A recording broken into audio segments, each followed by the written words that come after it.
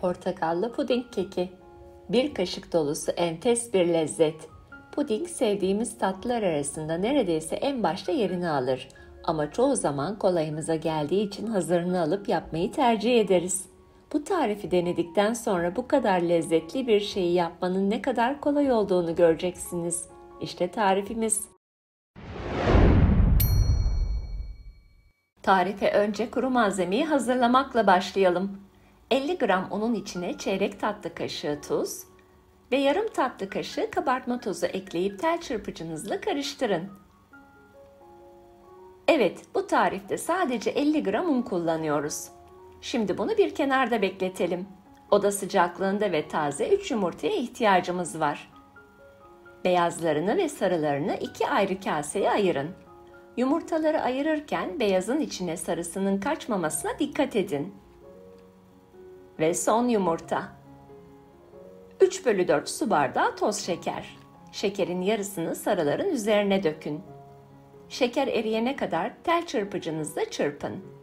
Zaten iki malzeme birleştikçe renginin değiştiğini göreceksiniz. 2 yemek kaşığı eritilip soğutulmuş tereyağı ekliyoruz.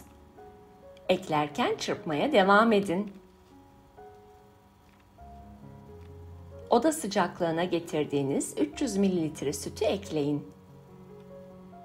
Hepsi birleşip bütünleşene kadar çırpın.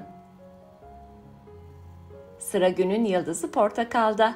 Bu tarifte kabuğunu da suyunu da kullanıyoruz. Yıkadıktan sonra önce beyaz kısma gelmeden kabuğunu rendeleyin. Sonra suyunu sıkın. 80 ml portakal suyuna ihtiyacımız var. Çırpmaya devam edin. En son kuru malzemeyi karışıma ekleyin. Topak kalmayacak şekilde karıştırın. Şimdi bunu bir kenarda bekletelim. Sıra yumurta beyazlarında. Yumurta beyazlarını köpürene kadar çırpın. Köpürüp kabarmaya başlayınca ayırdığınız şekeri 2-3 seferde aralıklarla ekleyin. Çırpma kabınızın, mikserinizin temiz ve kuru olmasına dikkat edin. Merenk gibi kuru ve sert olmasına gerek yok. Yumuşak ve parlak bir kıvam bizim için yeterli. 3-4 dakika sürecektir. Gayet güzel oldu. Şimdi diğer harcımıza yumurta beyazlarını birkaç seferde ekleyip nazikçe karıştıralım. Nefis kokuyor. Portakal bu pudinge harika bir aroma verdi. İsterseniz bu tarifi limonla da deneyebilirsiniz. O da çok leziz olacaktır. İşte bu kadar. Karışımımız hazır. 6 tane fırın kabının içlerini oda sıcaklığına getirdiğiniz tereyağla iyice yağlayın. Hazırladığınız harcı kepçe veya sürahi ile kaplara paylaştırın. Gördüğünüz gibi fırın kaplarını ayrıca başka bir tepsiye daha yerleştirdim. Çünkü içine kaynar su ekleyeceğiz. Önceden 170 derecede ısıttığınız fırında 30-35 dakika pişecekler. Kaynar suyumuzu da dökelim.